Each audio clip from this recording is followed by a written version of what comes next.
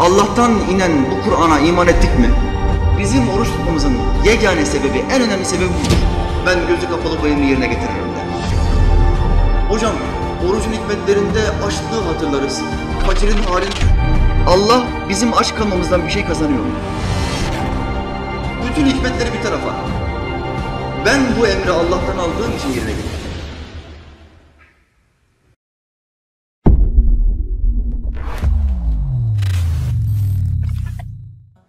Şu halde birçoğunun aklına şu sual gelebilir. Neden açlık? Allah bizim aç kalmamızdan bir şey kazanıyor mu? Kazanıyor mu? Allah Teala'nın bizim aç kalmamızdan kazandığı hiçbir şey yoktur. Hiçbir şey yok.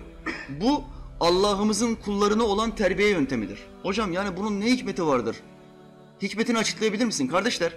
Allah Teala Hazretleri bize bir emir verdiği zaman muhakkak onun hikmetleri vardır. Bir değil onlarca yüzlerce hikmeti vardır.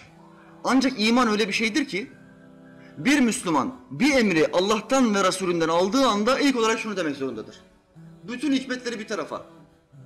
Ben bu emri Allah'tan aldığım için yerine getirdim. Şimdi oruç emri bize geldi mi az önceki ayette? Kutibe aleykumus siyam. Size yazdım, farz kıldım orucu. Bu emir geldi mi? İşittik ve iman ettik ya Rabbi. Şimdi hocam orucun hikmetlerinde açlığı hatırlarız. Fakirin halini düşünürüz. Peygamberimiz Aleyhisselam 2-3 gece devamlı aç olarak yatmıştı. Bunları hatırlarız. Bu gibi hikmetleri var hocam. Nefsimizi terbiye ederiz. Kibirimiz kırılır. Bu gibi hikmetlerden dolayı tutuyoruz değil mi hocam orucu?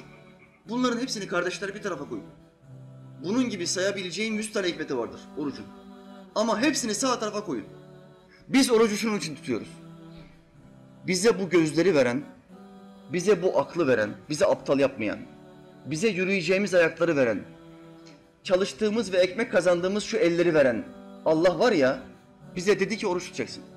Bizim oruç tutmamızın yegane sebebi, en önemli sebebi budur. Allah'ın emri olduğu için. Ey namaz kılan kardeşim, namazın hikmetlerini hiç boşuna araştırma.